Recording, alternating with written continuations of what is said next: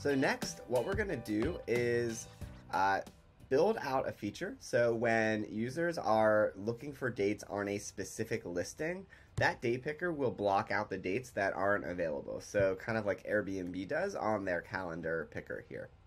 It's a little bit tricky to build out, so I'm to show you the best way to build this out on Bubble. The first thing we're to need to do is add in some plugins. So go ahead to your plugin tab and click add plugins on the right.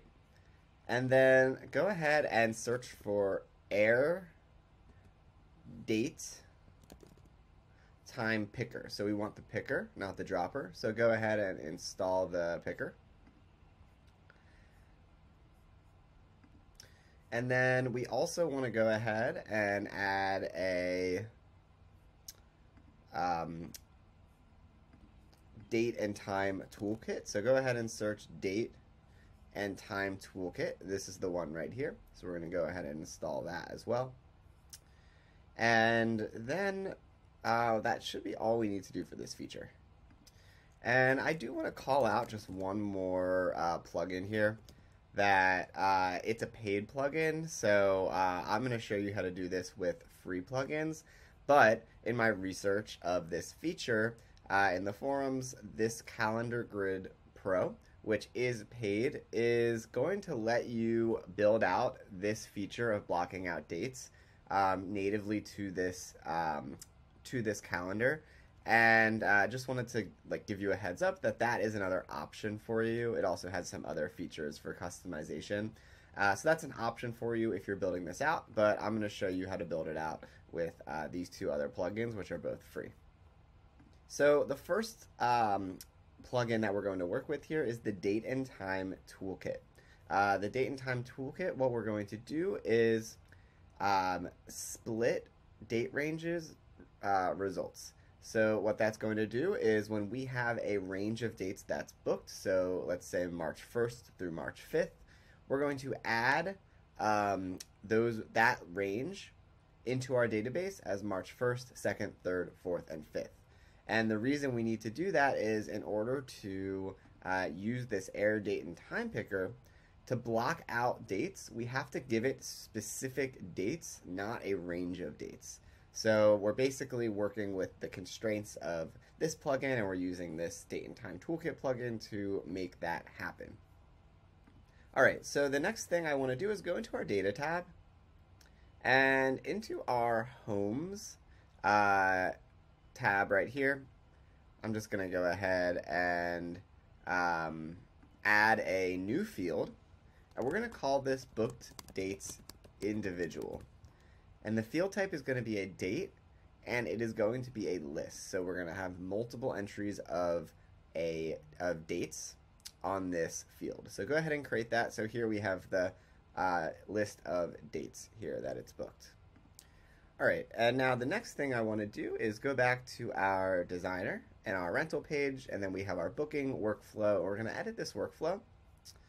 And now we're going to add an action which is going to um, put data into that list uh, that we just created, that list of dates, when there's a booking.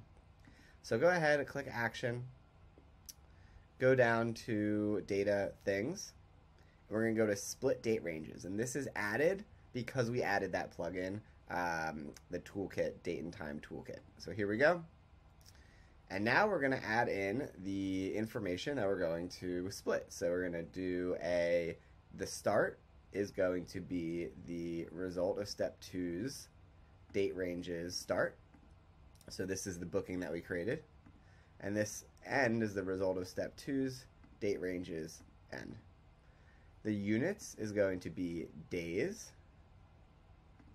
And then the steps is one. So what this means is um, we're going to do, you know, one day, each day, one day in between each day. This was a little confusing when I was first doing it, um, but just one step in between each day. Uh, range option, previous date time, leave that. And that is all we need to do. So we've split the ranges, and then now we need to add them into that field that we just created. So go to data things. We're going to make changes to a thing and what we're going to change is the result of step, um, sorry, we're going to change the current page homes And then we're going to go ahead and go book dates individual, add list, not add, so we're adding a list, so we have to click add list. And we're going to add the result of step four, date list, uh, not date ranges, so date list. All right, so there we go. So that's all built out. And let's go back to our designer here. And let's test this out. So I'm going to open a new private window. Actually, first I'm going to go ahead and click preview here. And let's go to the home page. Oops. And I'm going to go ahead and just search for New York and three guests because I know we have sample properties there. Uh, the dates uh, don't really matter. I just want to search for all, all our properties. So here's the property that we've been testing with. So I'm going to go ahead and open it up. And I need to log in uh, so that I can make a payment. So I'm going to go ahead and uh, I have a login that I've been using, Seth Pay Test at email.com, I believe. Let's see if that works. There we go. So now I'm logged in and I'm going to go ahead and do a booking. Now, before I do that, I want to actually show you how to use the debugger in uh, Bubble. And the reason to do this is in case you uh, are running into an issue, I want to show you how to kind of diagnose that issue and figure out how to solve it. So what you want to do is while you're in the same window that you are, you know, logged into your Bubble editor, at the end of the URL in the version test, go ahead and add a question mark and then do version, I'm sorry, debug underscore mode equals true and go ahead and enter in.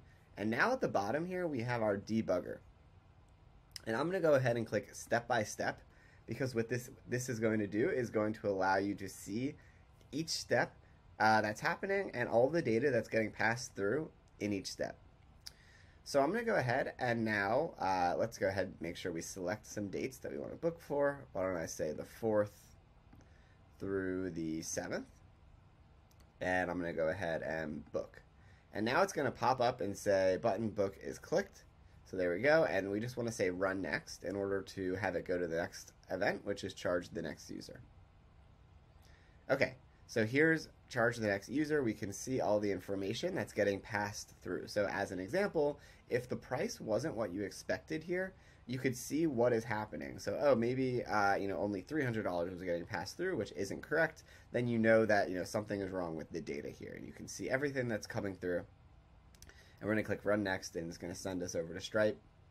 And I'm going to go ahead and enter my credit card information to purchase, and it's just that Stripe test card 4242, and so on. Any date into the future, any CVC, and then let's go ahead and pay and it's going to send us back to Bubble because that's what we've set up with Stripe earlier in the tutorial. And now it's going to pop up again with the debugger as after it loads. And here we go. It says our card was successfully charged. I'm going to click OK. And now here we go. It says we are creating a new booking. Uh, so this is the information, the charge ID, the payment amount, etc. Let's go ahead and click Run Next. And now we're making a change to a home. So we're changing that current page home and we're adding that date range. And now we're going to run next. And now we're splitting the date ranges. So we're uh, starting on the 4th, ending on the 7th. This is the inputs to that split date ranges. And now we're going to run next and make changes to that current homepage, book date individual, add the list. And here we can see 4th, 5th, 6th, 7th were all added to our list. So that's perfect. It's all act all working correctly. And Let's go ahead and run next. And that's it. So now it's done. So that's, uh, you know, we were running through the feature, making sure that it was working correctly, and showing you how to use the debugger. Um, uh, debug mode equals true in Bubble. Okay, so let's go back to Bubble here. And let's go to our data, and then let's go to our app data, and then our homes, and then let's just double check, check that that worked. So here, our book dates individual is accurately in uh, that uh, field here. All right, so let's go back to our designer. And now what we're going to do is add in that new date picker here.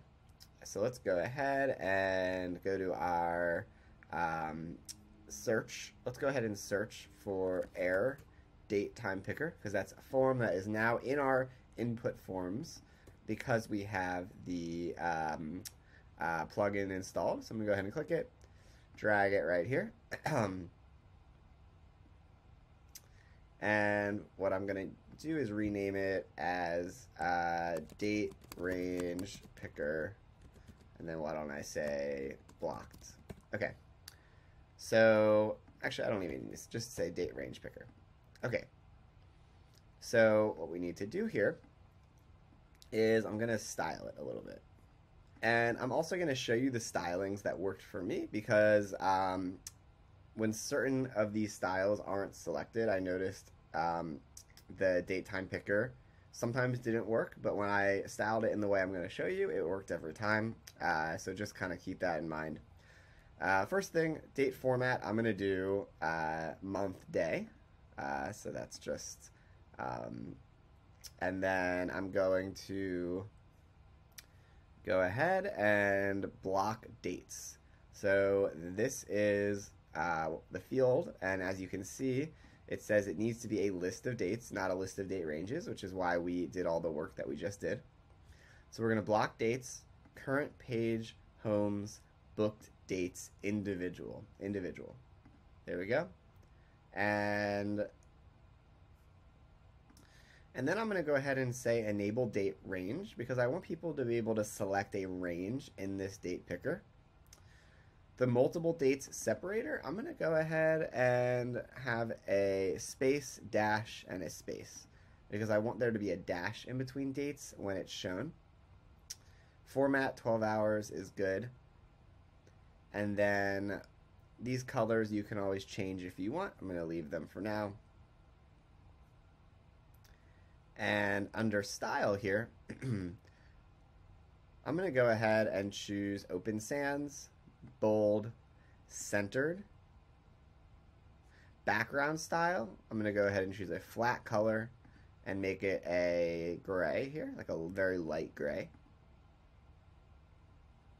Roundness, I'm going to say 5 and you'll see it doesn't show up until our published version of the app, but you'll see what I what I'm doing once we push it live or once we pub once we go to the live version.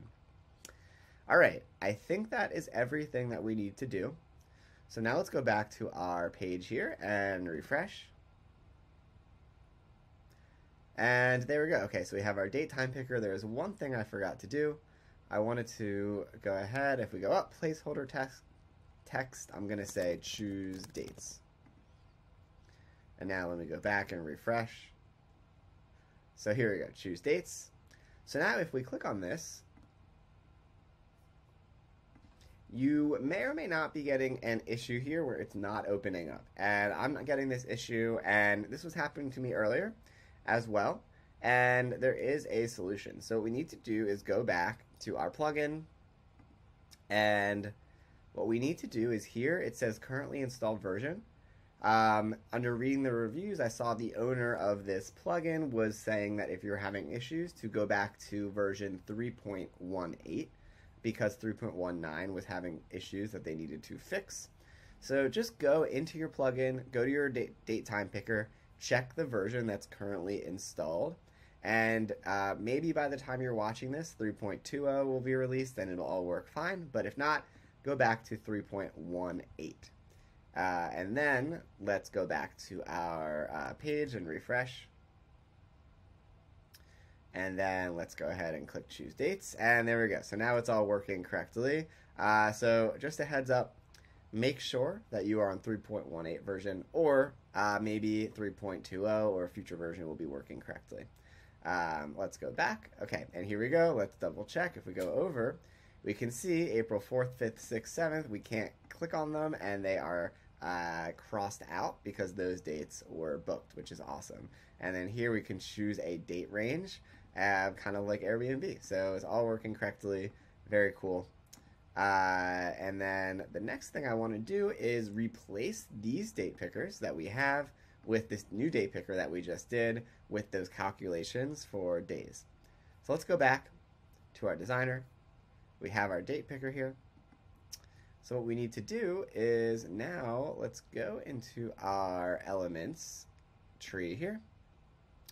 We have our total nights And then we have our total nights copy. This is the, should say total price.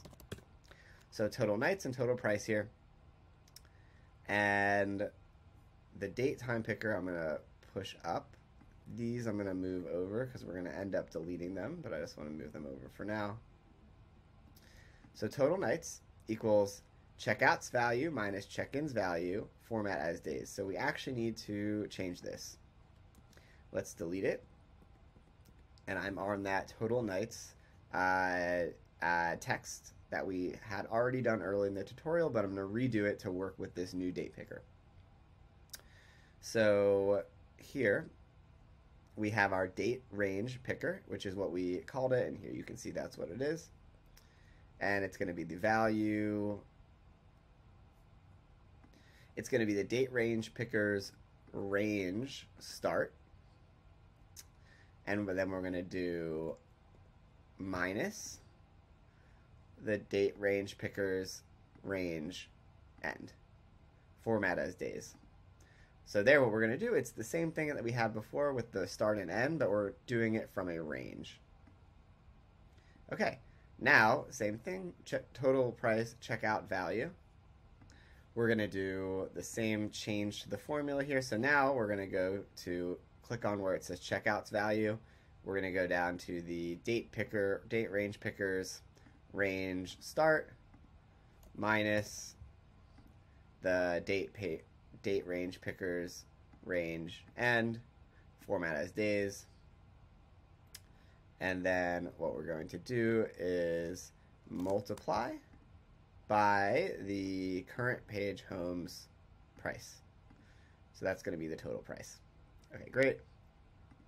And then when we go into our booking, we want to edit that workflow and make sure we're pulling in the correct price uh, and everything here. So we unfortunately are going to have to change some of these formulas here. So current page homes price, and then this is what we're going to have to change again. Checkout values minus check-ins value format as days. So the amount is going to be the uh, date range pickers, range, start, or sorry, range end minus date range picker range start. And we're going to have to go back. I think I did start and end instead of end and start. Format as days. Oops. Times the current page homes price. And we're going to have to do the same thing for the app fee here. So it's going to be the current homes price times the date range pickers range end minus the date range pickers range start.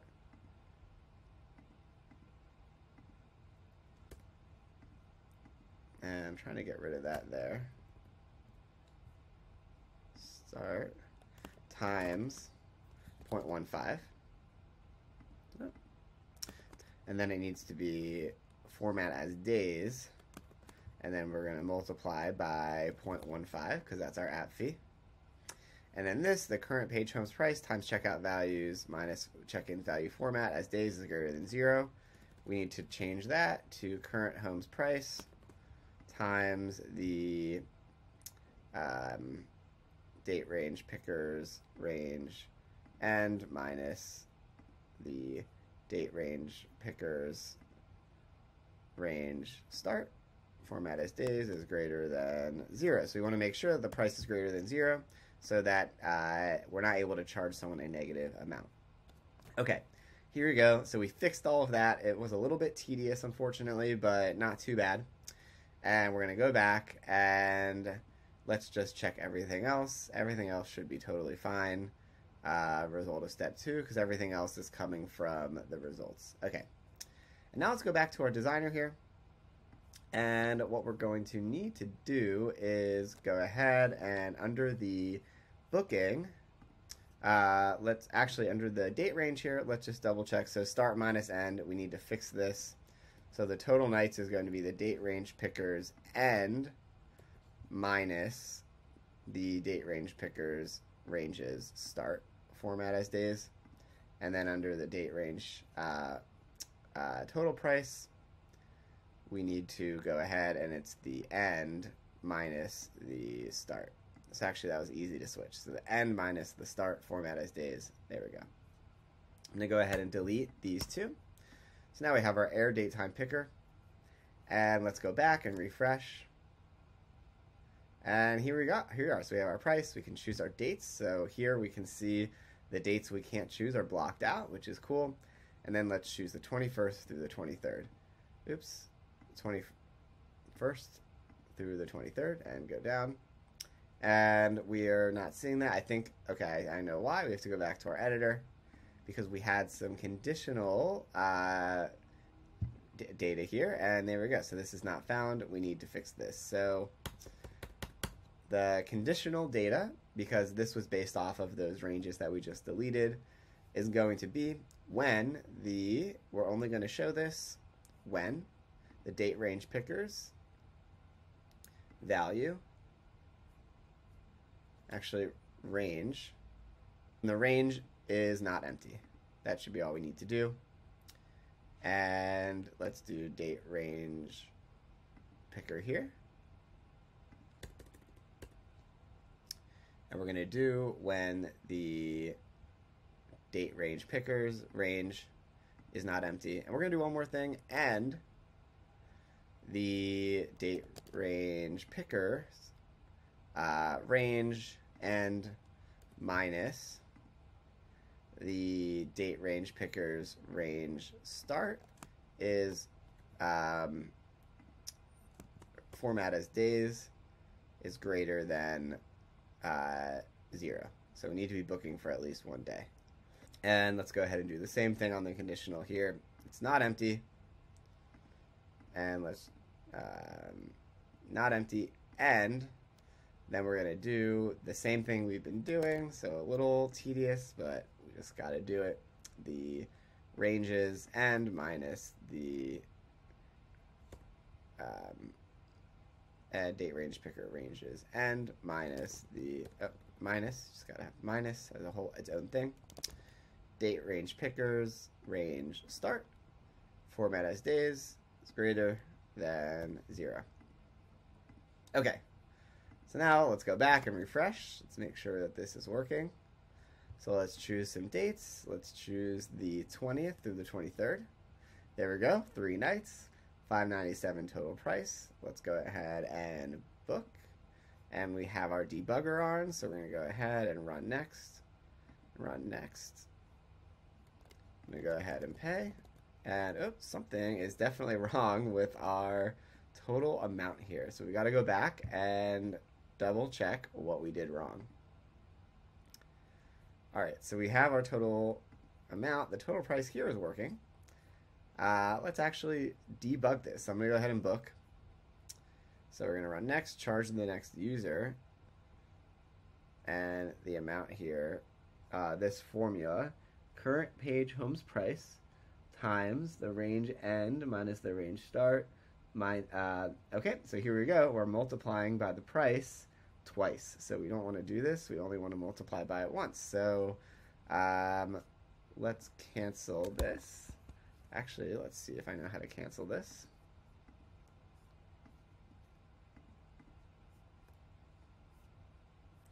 Um, we may have to go through and do it.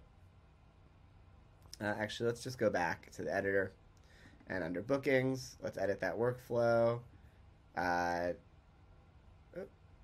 this one's going to have to be changed too uh, for the date range, but charge the current user. So current page homes price, let's go ahead and delete that.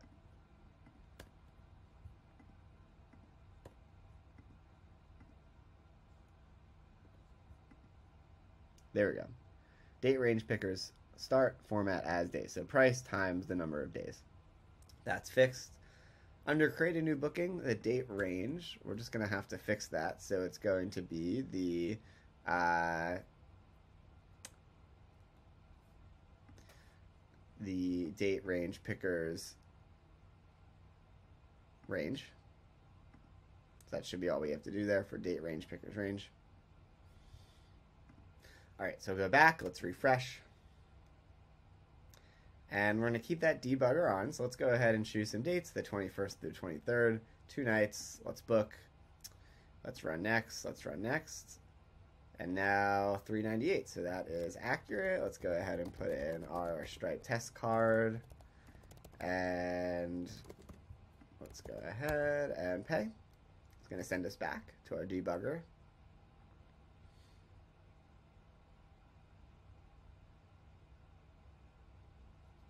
Okay, we were charged successfully. And here we go. So we're creating a new booking. We have our payment amount. We have our date range here. We have our current page home and application fee. Okay, great. Let's run next. We're making changes to the home. We're adding that date range. We're splitting the date range, and then we're adding the individual dates there. Okay, great. And it's done, and I'm going to just refresh. And now, if I go to their calendar, March 21st, 22nd, 23rd is not available. Awesome. Cool.